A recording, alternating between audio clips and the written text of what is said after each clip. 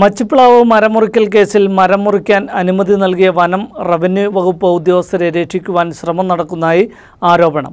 മരം മുറിച്ച കർഷകർക്കെതിരെ ജാമ്യമില്ലാ വകുപ്പ് പ്രകാരം കേസെടുത്തെങ്കിലും സർക്കാർ ഉദ്യോഗസ്ഥരെ സഹായിക്കുവാൻ പോലീസ് ശ്രമിക്കുകയാണെന്നാണ് പരാതി ഉയരുന്നത്.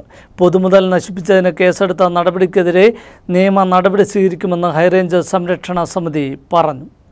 മന്നാങ്കണ്ടം വില്ലേജിൽപ്പെട്ട വാളറ പതിനാലാം മൈൽ ഭാഗത്തു നിന്നും ഏഴ് തേക്ക് മരങ്ങളും ആനവരട്ടി വില്ലേജിൽ നിന്നും പതിനൊന്ന് ഈട്ടിമരങ്ങളും വില്ലേജ് ഓഫീസറുടെ സർട്ടിഫിക്കറ്റ് പ്രകാരം വനം വകുപ്പ് പാസ് നൽകി പട്ടയഭൂമിയിൽ നിന്നും മുറിച്ചതിനാണ് മരം വാങ്ങിയ ആൾക്കും ജോലിക്കാർക്കുമെതിരെയും പോലീസ് ജാമ്യമില്ലാ വകുപ്പ് പ്രകാരം കേസെടുത്ത് മൂന്ന് പേരെ ജയിലിലടച്ചിട്ടുള്ളത്. അതേസമയം സ്ഥലപരിശോധന നടത്തി മരങ്ങൾ കർഷകർ നട്ടുവളർത്തിയതാണെന്നും സർക്കാരിൽ നിക്ഷിപ്തമല്ലെന്നും റിപ്പോർട്ട് നൽകിയ വില്ലേജ് ഓഫീസർക്കെതിരെയും മരം മുറിക്ക് അനുമതി നൽകിയ അടിമാലി റേഞ്ച് ഓഫീസർക്കെതിരെയും നടപടിയില്ല. കേസിൽ പ്രതിപ്പട്ടികയിൽ ഒന്നാം പ്രതിയായി അടിമാലി മുൻ റേഞ്ച് ഓഫീസർ ജോജി ജോണിനെ ഉൾപ്പെടുത്തിയിട്ടുണ്ടെങ്കിലും സർക്കാർ ജീവനക്കാർക്ക് കോടതിയെ സമീപിച്ച് മുൻകൂർ ജാമ്യമെടുക്കാൻ പോലീസ് സഹായം ചെയ്തു കൊടുക്കുകയാണ് ഉണ്ടായത്.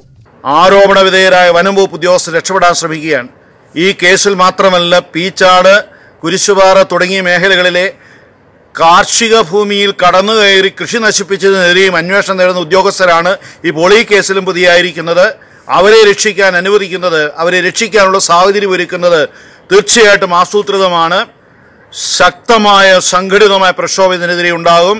സർക്കാർ കനത്ത വില നൽകേണ്ടി വരുമെന്ന് ഓർമ്മിപ്പിക്കുകയാണ്. രാജീക മരങ്ങൾ മുറിച്ച കുറ്റമാണെങ്കിൽ ഉത്തരവിറക്കിയ റവന്യൂ പ്രിൻസിപ്പൽ സെക്രട്ടറി അടക്കം പ്രാദേശികമായി മരം മുറിക്ക് അനുമതി നൽകിയവരെയും വനം റവന്യൂ ഉദ്യോഗസ്ഥരെയും പ്രതിയാക്കണമെന്നിരിക്കെ ഉദ്യോഗസ്ഥ വൃന്ദത്തെ മുഴുവനായി ഒഴിവാക്കി മരം വാങ്ങിയവരെയും ജോലിക്കാരെയും അവരുടെ ആശ്രിതരെയും ജയിലിലടയ്ക്കുന്ന നടപടിയാണ് പോലീസ് ഇപ്പോൾ സ്വീകരിച്ചു വരുന്നത്. ഇപ്പോൾ കർഷകർക്കെതിരെ കേസെടുത്തിരിക്കുന്നത് ഗൂഢാലോചന പൊതുമുതൽ നശിപ്പിക്കൽ തുടങ്ങിയ വകുപ്പുകൾ ചാർത്തിയാണ്. ഇതെങ്ങനെ പൊതുമുതൽ നശിപ്പിക്കുന്ന വകുപ്പിൽ ചാർത്താൻ കഴിയുമെന്ന് ഞങ്ങൾക്ക് മനസ്സിലാകുന്നില്ല. അനുമതി വാങ്ങി സ്വന്തം ഭൂമിയിൽ നിന്ന് പട്ടയ ഭൂമിയിൽ നിന്ന് സർക്കാർ ഉത്തരവിന്റെ അടിസ്ഥാനത്തിൽ മരം മുറിക്കുന്നത് എങ്ങനെ പൊതുമുതൽ നശിപ്പിക്കലാകും? തീർച്ചയായിട്ടും ഇതിന് കോടതിയിൽ ചോദ്യം ചെയ്യും.